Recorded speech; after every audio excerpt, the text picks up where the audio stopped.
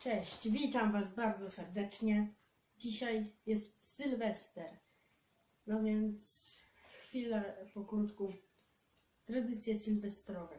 U nas zawsze są fajerwerki, szampan podczas no, Sylwestra. Zawsze wszyscy noszą te czapeczki.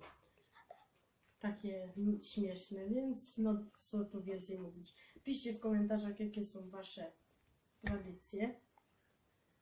No i co? No, widzimy się Niedługo. o północy.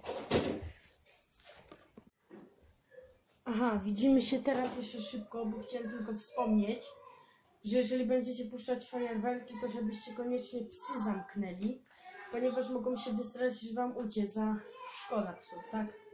Dobra, to teraz już naprawdę do zobaczenia o północy. Dobra, jest już 12, za chwilę zaczynamy strzelanie fajerwerków, znaczy 12 jest za chwilę. Dobra, to za do fajerwerków.